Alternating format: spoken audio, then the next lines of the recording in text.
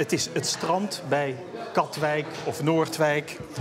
En het is geschilderd door Gerhard Morgensterne Munten. Hij is Duitser van oorsprong, heeft zich gevestigd aan de Nederlandse kust. Was bezeten en was een groot liefhebber van bijvoorbeeld de marineschilder Mesdag. Een van onze grote schilders uit de 19e eeuw. En heeft veel in die trant gewerkt. Vaak zijn het kleine schilderijtjes. Nou, dat zien we hier ook. Maar hoe komt u aan deze werkjes? Uh, dit is de mijne op een rommelmarkt gekocht voor vijf gulden. Dit is uh, van haar overleden broer op dezelfde rommelmarkt gekocht voor 10 gulden.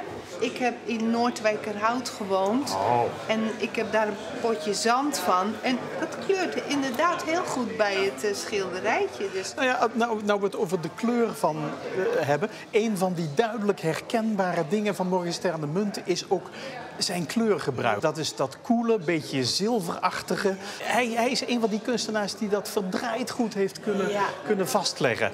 Nou, het is om allerlei redenen een hele leuke en goede investering geweest. Want die schilderijtjes die hebben een waarde van 1200, misschien wel 1500 euro per stuk.